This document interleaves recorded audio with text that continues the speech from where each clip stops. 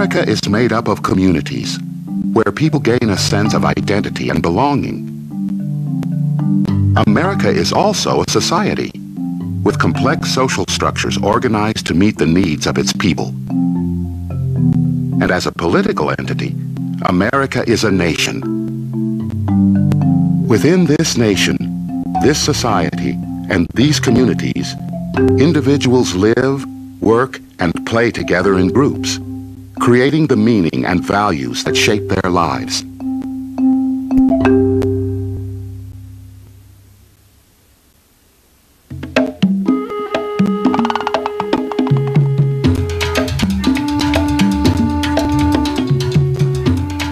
A society is more than just groups of people. It is a meaningful social structure that organizes and bonds its members to carry out the major functions of life, such as reproduction, sustenance, shelter, and defense. Societies are not static. They evolve and become more complex as their social structures change. Such change can be seen in shifts in social groups, relationships, and socially defined positions. The earliest type of society is known as the hunting and gathering society. Hunting and gathering societies were really the first kind of societies that human beings developed. A hunting and gathering society is one that sometimes is called a foraging society, in which people get all their food and livelihood from what they can hunt and or scavenge or find on the land. They basically work together, live together, worship together, play together as an entity. Within the groups that form societies, people develop relationships. Sociologists use the German words Gemeinschaft and Gesellschaft to define the interactions that form these relationships. Gemeinschaft refers to close personal interactions among small groups and communities. Gesellschaft refers to the well-organized but impersonal relationships of modern societies. Hunting and gathering societies were primarily Gemeinschaft type societies. People knew each other, they interacted face to face, small groups, probably at most 25, 50 members tops in any one of these groups. Essentially, it's a group in which either everyone makes it or nobody makes it. For that reason, then, there's a strong sense of Gemeinschaft in these kinds of societies because the people want to have a strong feeling of camaraderie. They have a lot of overlapping relationships. They're very intimate. They get to know each other from birth until death and in every single way.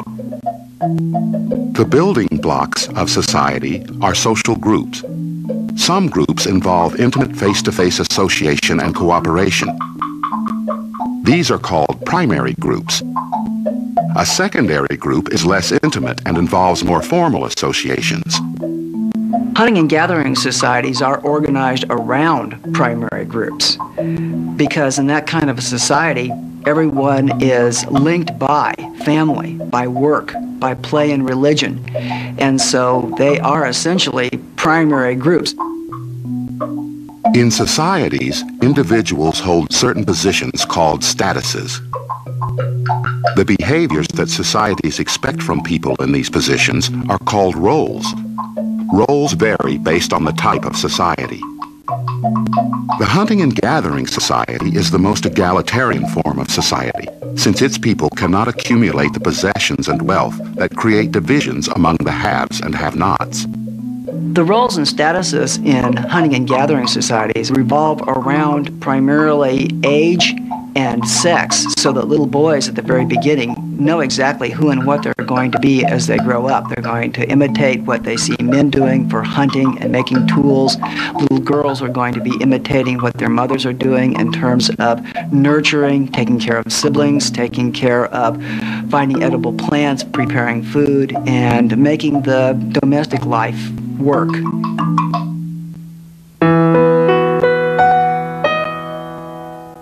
Another type of society that sociologists explore is the horticultural and pastoral society.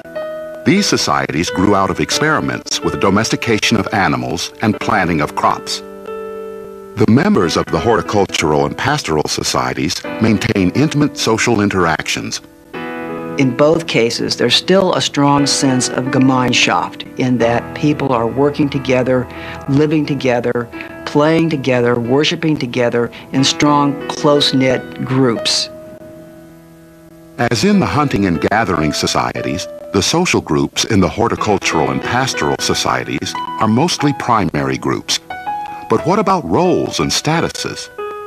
People know pretty much who they are and where they fit into society in terms of, you know, what's been told for them and modeled for them. There isn't a whole lot of distinction between people in terms of specialized tasks or chores, and there aren't a lot of opportunities to do much other than what they've seen their parents and their friends and their neighbors doing.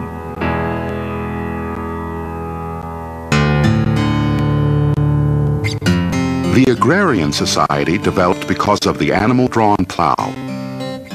Within this society, the first cities emerged. These cities contained only a small proportion of the population, but they marked a trend for the future. Agrarian-based societies are those in which people are intensively basing their lives on agriculture. Um, because of that, you have more people, you have larger communities, you have more people to know, and a little bit more diversification and specialization. How did this population growth affect social interactions?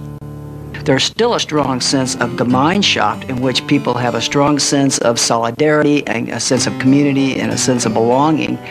But there probably is the possibility for Gesellschaft-like relationships developing within the context of the larger society. The emergence of the agrarian society brought about changes in the social groups within society. The primary group remained strong, but secondary groups begin to appear. This is because towns are forming and travel is becoming more common. Secondary types of relationships, which are characterized as more detached with less of an emotional commitment to them, are certainly going to be developing in those relationships beyond the initial community within which people work and live. Changes are also taking place in terms of roles and statuses. In an agrarian society, you really begin to see the segmentation of society into very distinct roles and statuses. And you also begin to see, for the first time, very, very strong differences between uh, positions. And you start to see inequality um, emerge probably at its highest levels in most of the societies we've ever known.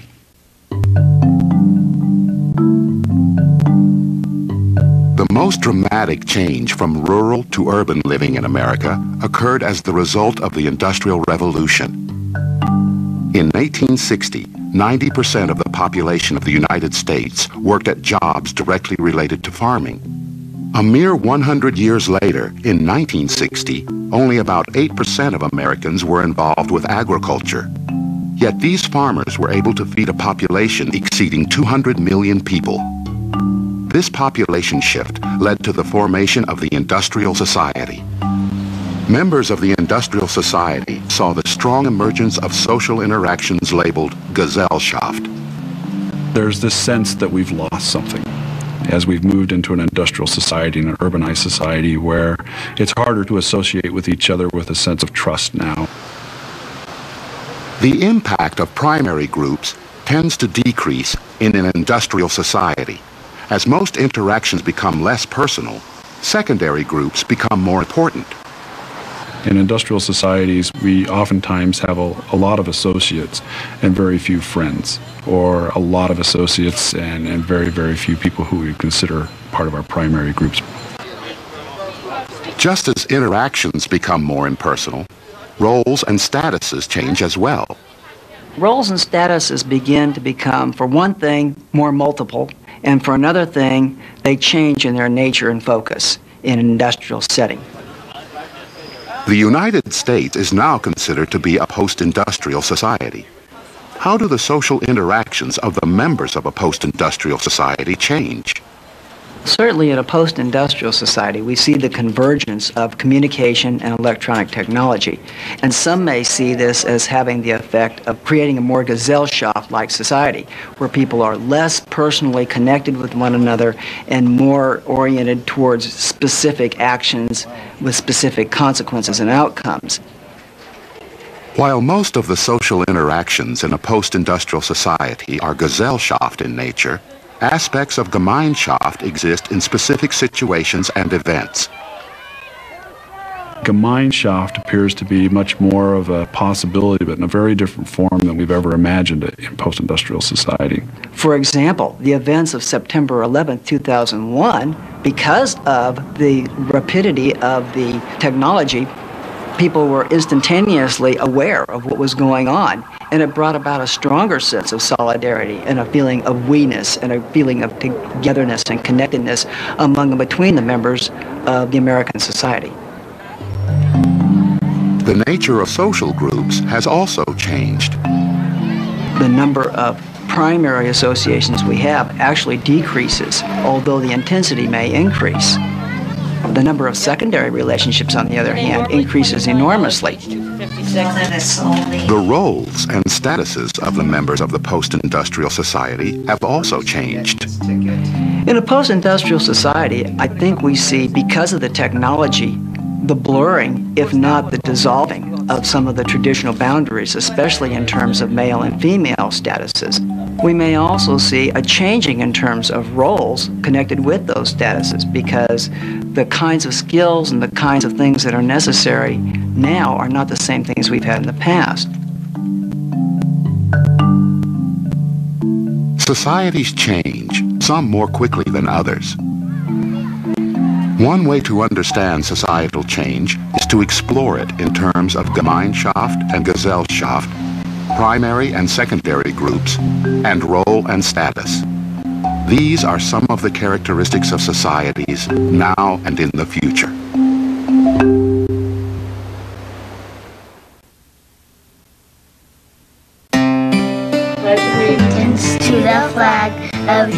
States of America, into the republic for which it stands, one nation. When the United States of America was formed, it claimed nation status. Then and now, it displayed the characteristics that define a nation. First, it is sovereign, which means it has the right to govern. Second, its members believe it to be legitimate, which means that they themselves give the nation its power.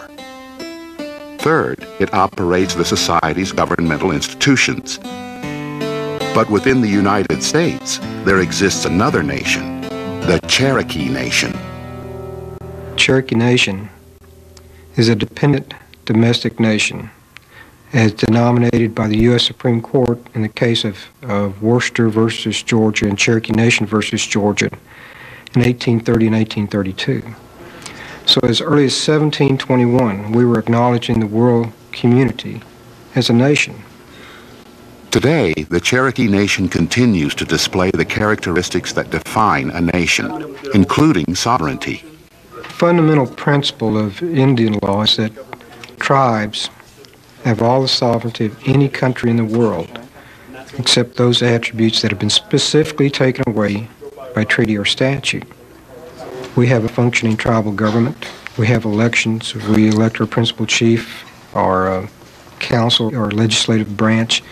Our courts issue decisions. We run law enforcement. We run our own school. Members of the Cherokee Nation hold dual citizenship. They are both Cherokees and Americans. You can be a member of the Cherokee Nation without being physically located or resident in the Cherokee Nation proper, just as a United States citizen can go to Canada or France or South America and retain his citizenship. And so you can look at the Cherokee Nation in several ways. Uh, one, we do have geographic boundaries. But actually, what the Cherokee Nation is more powerfully, it's a nation of people.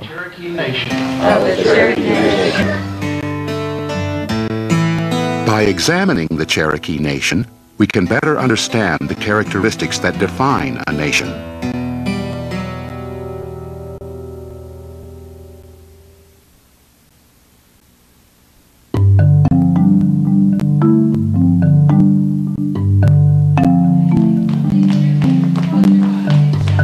There are many different types of communities.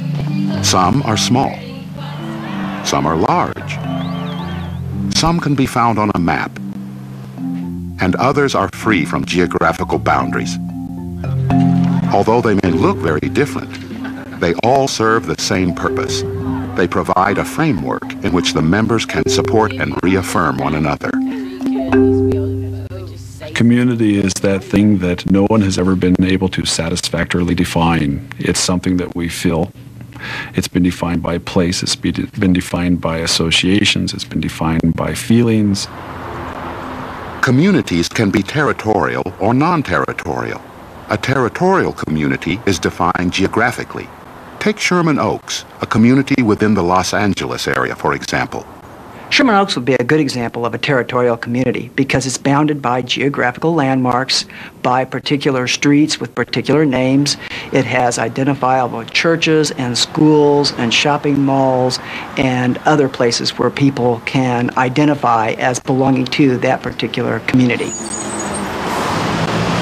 Territorial communities offer more than well-defined boundaries. It provides a sense of stability and continuity because when people get out their door in the morning, they know that the people that they're going to see on a daily basis, whether it be the school or the church or the post office or the store down the street or the gasoline station, are always going to be there. So it gives them a sense of, you know, life is okay. No, there's a lot of good stuff in there. Bishop Stewart is a resident of Sherman Oaks. He is also a professional actor who feels that Sherman Oaks is better suited to his lifestyle than other local communities. The rent's a lot cheaper here. Uh, very nice, quiet neighborhood. Uh, once you go over Laurel Canyon, uh, you get more congested with the traffic. There's more people. It's really rushed. Here it's more relaxed and very quiet. Uh, so it's a very peaceful place. It's a nice place to live. A non-territorial community is not defined by geographical boundaries. It's based on shared values and interests, and its members do not necessarily live close to one another. An example would be a community of professional actors. A non-territorial community, like actors, are held together by a common occupation. And along with this occupation, of course, they get a common uh, view of life, a common lifestyle, if you will, why me, man? When I saw you on the news, I knew you were the one. Nah, sorry, old man. You got the wrong brother. Bishop Stewart, who has appeared in movies, commercials, and television series, is also an active member of this community. No sign of the rest of the squad. You know, I open up to you and, and you just belittle me when you're around other people to continually push you, and as you see them advance, it makes you want to advance at the same time. So if you're reading and you're working with someone whose skills are good, that can only enhance what you are doing. People with similar interests are now able to form bonds regardless of their location and establish what are known as virtual communities, a result of the internet. Virtual communities serve much the same purpose for their members as non-territorial communities serve, but they are more readily accessible to everyone. People in New York, Los Angeles, or in some other country can interact with one another. But also, people of different age groups and different backgrounds, people of different racial and ethnic groups, people of different religious backgrounds may in fact find somebody online, may find a chat room, may find a list, and find that they have something in common the ability to traverse space, the ability to instantaneously talk with somebody who lives on the other side of the world and keep an association alive uh, can't be underestimated.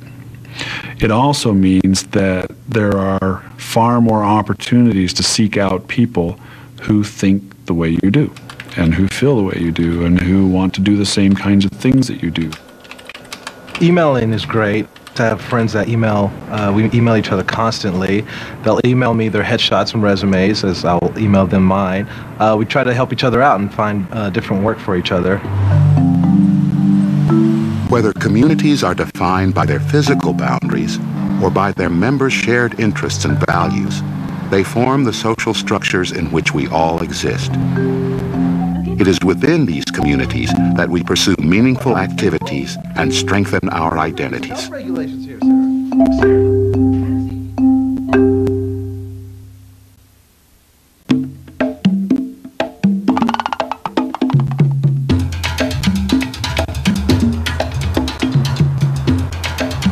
Santa Fe, New Mexico, an exclusive arts mecca and a destination for wealthy Asians, Europeans, and Hollywood celebrities.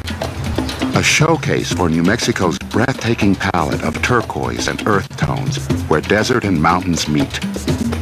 But as sharply contrasted as the landscape, the residents of Santa Fe belong to two distinct and opposing realms. There are the wealthy tourists who, enchanted by the unique architecture, the bustling art scene, and the high desert air, decide to buy into the charm of Santa Fe for the long term. And there are the locals who come from a long line of Santa Feans. They feel strong ties to the history and culture of the town. But because the pay scale is low and property values continue to escalate, many of them are being displaced. Change is inevitable when newcomers enter a community such as Santa Fe. But the reactions to this change vary. While some locals feel that newcomers threaten the very qualities that make the town unique, others welcome the economic and cultural possibilities that new blood can bring to the table. The debate over change in Santa Fe has been going on for a long time. People with money have moved their businesses here. And that means that the employment opportunities for people are greater. That means that the quality of life for local people who can gain employment in these new businesses is enhanced. Well, I think the wealth that's come into Santa Fe has given us some good things and given us some bad things. I mean, for instance, for a town our size, we have a lot more cultural institutions, a lot more nice restaurants, things like that, that you can enjoy if you have some money. The bad things it's given us is that it's displaced a lot of older families, a lot of working class and low income families from their original neighborhoods. And it seems to be making Santa Fe a less diverse town as time goes on. I actually see the changes that have taken place over the last 20, 30 years as good for the community. Back when I was growing up, Santa Fe was a relatively poor community.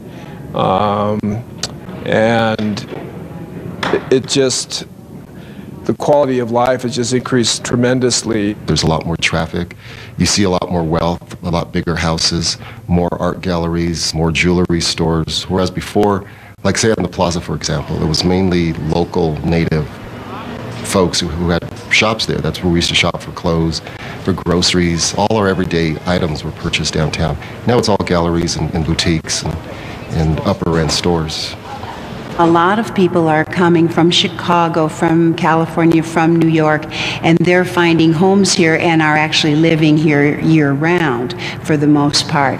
Uh, with that surge of energy, uh, of course, prices have gone up, rents have gone up. I think a lot of the native people are not able to afford houses in Santa Fe. If you would look on the outskirts of Santa Fe, you see a lot of the mobile homes, and that's where a lot of the native people are living, you know, out outside the city limits. And with the property taxes, they have gone up so skyrocketing, my grandma is barely able to afford the taxes. A lot has changed up there, you know, there's maybe three people on the street who are natives of Santa Fe. Just as the locals must accommodate the new members of their community, these new members are expected to adapt to their chosen home. But one of the changes that wealthy newcomers have brought to Santa Fe is the development of gated communities.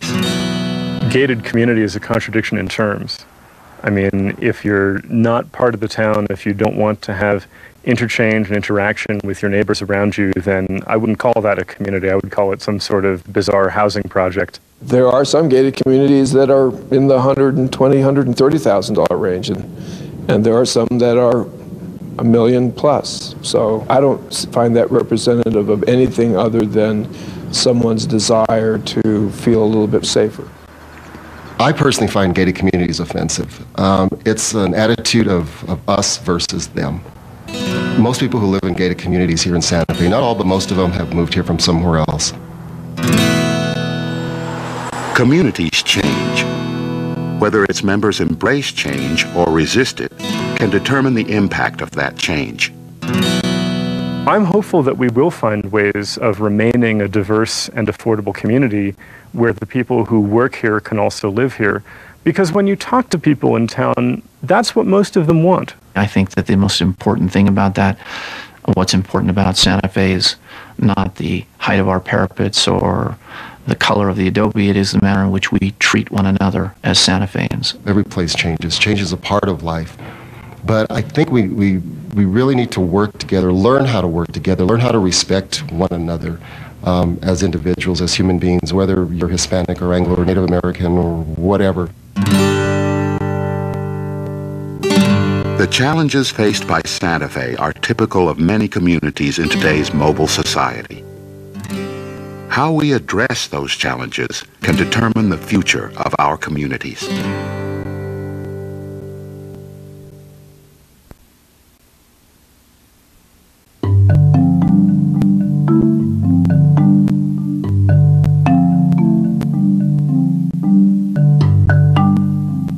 Societies around the world may appear to be very different, but they all can be defined using common characteristics. Communities and nations can transcend geographic boundaries. They are often defined by the shared values and interests of their members. Communities, societies, nations, all are constantly evolving, constantly changing to meet the needs of social groups and all are constantly challenged by the stress that comes with change.